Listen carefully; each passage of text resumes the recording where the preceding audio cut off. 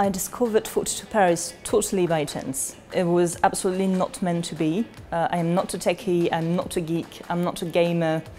Um, I had no, not a single toe in this world. I had no idea it even existed. It's completely different from anything I've experienced before because nobody has to be there.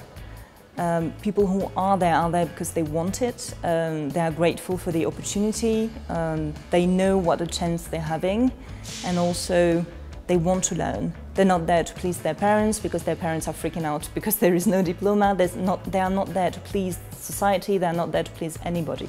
They're just there for themselves. Going to 42 changed me in many ways, but I guess the most important one is that got rid of my fear of trying new things, learning new things. Now I know that I can. So even when I'm terrified, even when I'm embarrassed, even when I have no idea what I'm doing, I'm still doing it just because I want to. Uh, and if I want to learn something, I'm just going to go to it.